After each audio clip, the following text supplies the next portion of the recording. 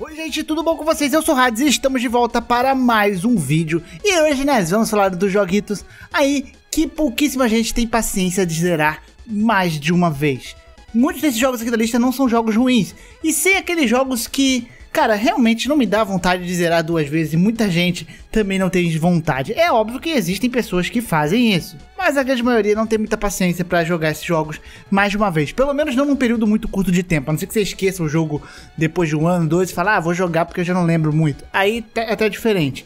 Então vamos falar basicamente disso aqui. Jogos que diferentes como Dark Souls e Devil May Cry que você tende a zerar mais de uma vez esses jogos aqui é o contrário. Você joga, você até tem uma experiência boa em alguns casos, mas você não quer mais ver o jogo pelo menos não por enquanto. Então, vamos falar disso aqui. Se a gente começar o vídeo, não esqueça de deixar seu like e se inscrever no canal. Pega a poltroninha aí, senta aí e vambora. Bem, eu vou começar aqui com os mais famosos, depois a gente vai descendo a ladeira pro inferno, meu amigo, que o bagulho vai ficando louco. Death Stranding. Bem, Death Stranding é um jogo que dividiu muita gente, todo mundo já sabe dessa bagaça, né? Muita gente, você vai falar, ah, é Death Stranding. Vai ter ali uma galera falando mal, vai ter outros exaltando o jogo. E o jogo, entretanto, por mais que eu tenha gostado particularmente, principalmente da história desse game, é um jogo que eu não consigo pegar e zerar de novo. E olha que eu zerei ele lá no lançamento e já passou alguns meses eu não pegaria para zerar de novo Death Stranding. Devo falar a verdade, porque, cara, é complicado.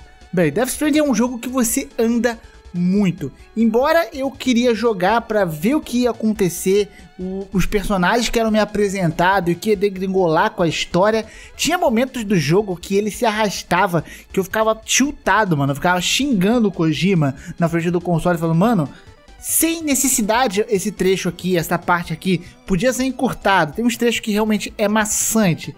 E este fato do jogo ele ser muito maçante em vários trechos, simplesmente faz você cogitar se realmente você vai querer zerar ele de novo daqui a algum tempo.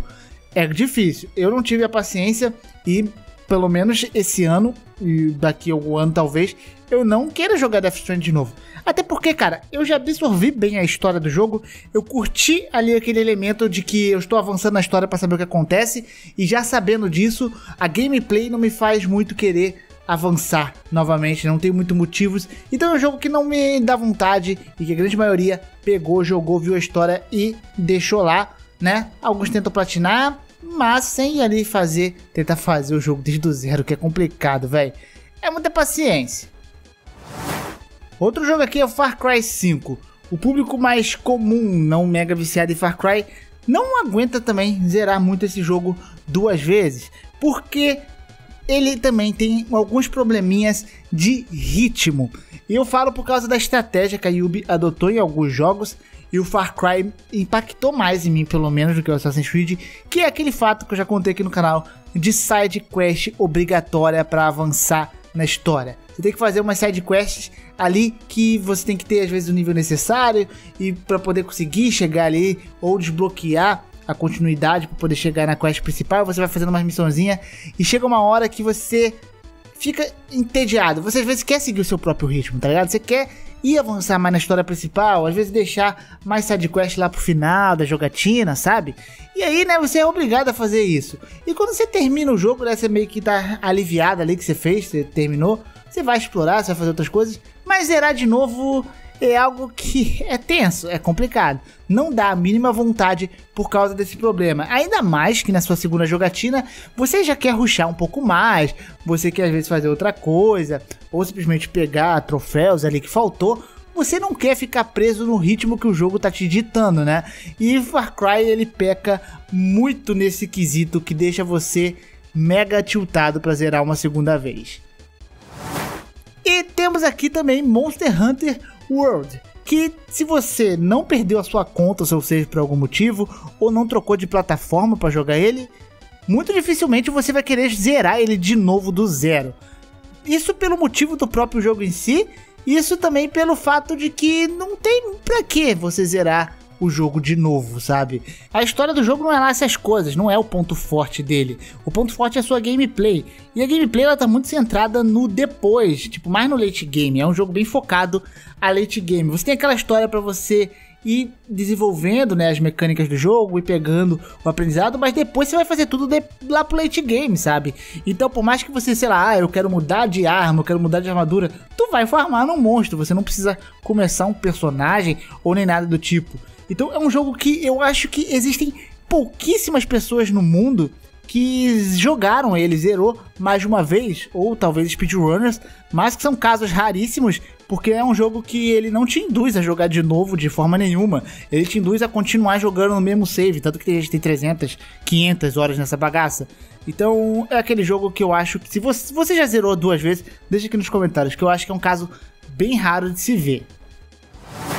Agora estamos descendo a ladeira, o tobogã da desgraça, mano. Estamos chegando em alguns jogos, devo dizer, deveras estranhos. O primeiro é um jogo que se chama Waiting the Line 3D, que traduzindo, esperando na fila em 3D. Que maravilhoso, nada mais divertido que você estar tá naquele calor esperando uma fila ou naquele banco lotado. É maravilhoso. Então por que não trazer isso para dentro de um jogo? E foi isso a ideia dos desenvolvedores, né? É um jogo que você não pode se mover, você só pode olhar ali pros lados e basicamente você tem que controlar o seu sono, porque você tá esperando uma fila e dá sono, você fica entediado. E aí a sua barra de sono vai caindo, você tem que se auto-socar para você poder dar aquela despertada, né? E continuar ali na fila.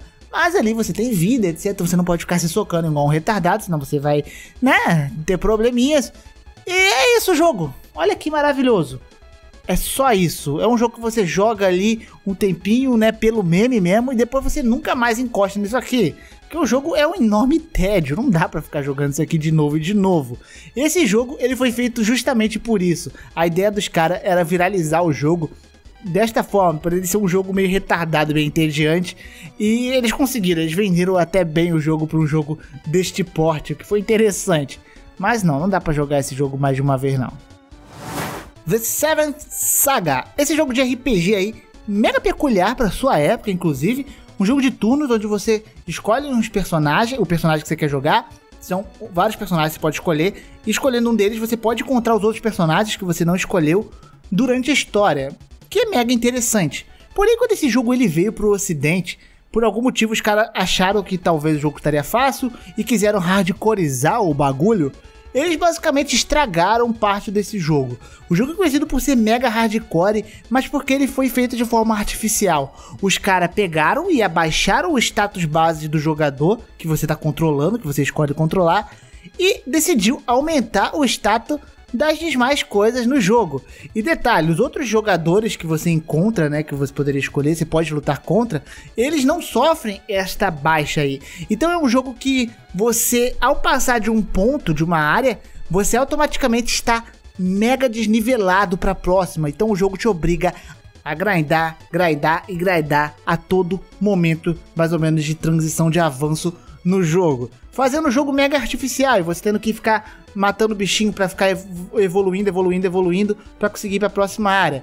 Então, um jogo que não é apenas difícil, ele é dificilmente chato, eu poderia dizer, por causa desse probleminha. Ainda assim é um jogo bom, tá? Mas esse probleminha aí impede muita gente de você querer zerar de novo. Você zerou a primeira vez, você curtiu, você suspira meio ali, ó. Foi tretoso, eu não vou ficar grindando a minha vida inteira nessa bagaça. Pois é, esse aqui é tenso, mano. Desert Bus. Tá aqui um jogo que, se por acaso você conseguiu ter a paciência para zerar, você nunca mais vai querer fazer isso de novo. O jogo, ele tinha ideia de ser meio chato mesmo, mas ele era chato ao extremo. Ele era basicamente o Euro Truck Simulator, só que de uma forma mega entediante. É, você tinha que ir de um ponto até outro, isso era em milhas, né, duas cidades em tempo real. Era um percurso de 8 horas direto jogando, no, na vida real mesmo.